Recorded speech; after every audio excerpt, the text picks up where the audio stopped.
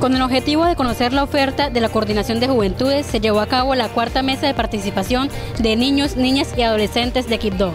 Esta y otras noticias te las contamos en un minuto en Notisemanal Q. Con el objetivo de generar espacios de integración y reconciliación, más de 200 jóvenes de Quibdó participaron del primer Fútbol para la Juventud y la Paz. El alcalde de Quibdó, Isaías Chalá, gestionó ante la Dirección de Apropiación de Mintix la adquisición de 5.000 licencias País Proyecto Convertic para que a las personas de baja visión y adultos mayores se les facilite operar los computadores. Con el propósito de conocer la oferta de coordinación de a partir de la implementación de la política pública para esta población, se llevó a cabo la cuarta mesa de participación de niños, niñas y adolescentes del municipio de Quibdó. En el marco de la estrategia Ruta de Emprendimientos por la Paz, se realizó la cuarta entrega de redenciones a líderes y lideresas de las asociaciones comunales de Quibdó. Para implementar estrategias y mejorar la articulación entre la cooperación internacional y la institucionalidad, funcionarios de la alcaldía de Quibdó se reunieron con sus similares de la Oficina de las Naciones Unidas. Con la presencia del viceministro de Cultura se llevó a cabo la conferencia El Poder de la Cultura.